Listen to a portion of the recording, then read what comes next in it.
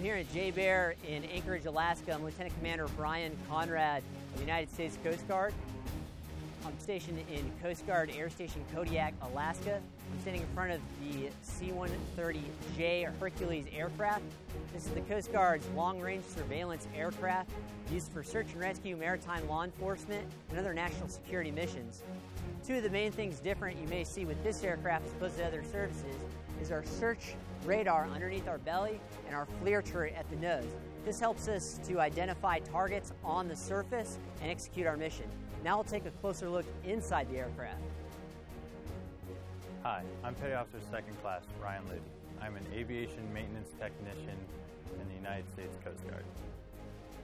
As a loadmaster on the C-130J Super Hercules, my primary responsibility is ensuring that the weight and balance of the aircraft is in order and that I'm backing up the pilots in flight, ensuring that during any emergencies we are able to work as a team and collaborate on what needs to be done in order to keep our plane flying safely.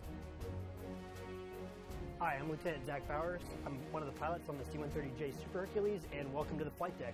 Some things that have changed uh, with this model of C-130 from previous ones are an advanced avionics suite in the form of some glass uh, screens. We also have a heads-up display, which is located up here.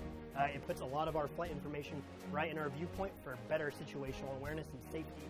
Um, some other upgrades are um, upgraded engines. We now have Rolls-Royce engines, which provide us with greater efficiency, range, and speed to allow us to uh, respond to our uh, nearly 4 million square mile AOR um, in a lot faster time than previously before. We also have an advanced mission system on board on this side of the flight deck, which is linked to our surface search radar and our FLIR turret, uh, which provides us with updates um, with uh, as far as search is concerned and uh, locating targets in the water, might be uh, boats or uh, people in the water. And with that, I want to thank you for joining us on board the C-130. Have a nice day.